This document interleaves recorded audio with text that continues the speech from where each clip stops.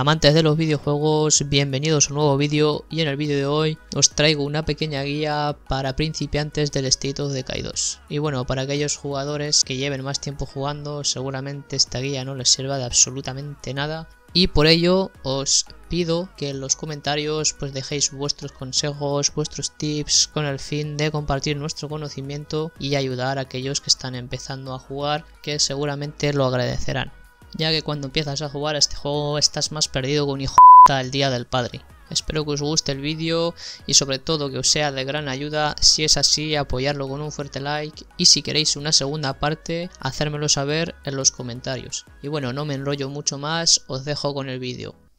Y antes de que se me olvide chicos, quería comentaros que este vídeo está patrocinado por la República Independiente de mi casa, la cual nos transmite un serio mensaje y es que nos quedemos todos en nuestra puta casa si no queremos acabar así.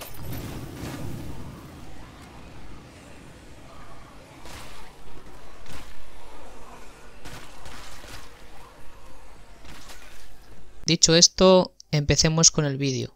En primer lugar, mi primer consejo es que tengáis muy en cuenta la quinta habilidad o la habilidad especial de cada personaje porque dependiendo del personaje o personajes que escojamos tendremos unas u otras posibilidades. Para los que vayáis a empezar os recomiendo que tengáis un personaje con la habilidad de medicina otro personaje con la habilidad de jardinería y otro personaje con la habilidad de informática. Así, posteriormente podremos mejorar nuestra enfermería para sanar de forma pasiva las heridas, mejorar un huerto a nivel 2 lo que nos proporcionaría más comida por cada día y poder mejorar el centro de mando para obtener más espacios para establecer puestos avanzados, lo que también nos proporciona recursos cada día. El segundo consejo es que utilicéis a todos los personajes de la comunidad, es decir, que no andéis siempre reventando al mismo personaje una y otra y otra vez, sino que vayáis alternando entre personajes y cada vez que salgáis a hacer cualquier misión pues utilicéis un personaje. Esto desbloqueará el rango de héroe de cada personaje, lo que os proporcionará recursos a diario para vuestra comunidad, que van desde medicinas, munición,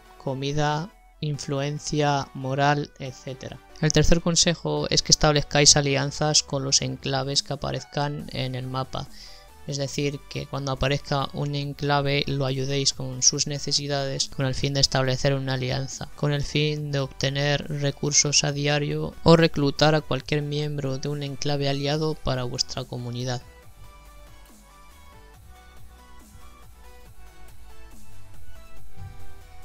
El siguiente consejo es que tengáis una base autosuficiente. Y para esto es muy importante que hayáis hecho lo anterior. Es decir una base autosuficiente es aquella que al final del día pues tenga balance positivo. Por lo de balance positivo quiero decir que os sobre comida medicamentos munición materiales de construcción y gasolina. Y las bases autosuficientes se obtienen con lo que os he dicho antes a través de las alianzas, los puestos avanzados, lo que aporte cada personaje que tenga el rango de héroe y demás. Esto es muy bueno porque así no tendremos que estar todo el tiempo farmeando comida y demás, sino que podremos explorar más el mapa, hacer misiones, ir en busca de armas y demás. El siguiente consejo es que establezcáis un puesto avanzado en una central eléctrica o una central hidráulica. Esto os proporcionará agua y electricidad a la base lo que será de mucha ayuda para subir la moral de vuestros personajes o vuestros sobrevivientes y para tener acceso a algunas instalaciones más avanzadas que os proporcionarán mayores recursos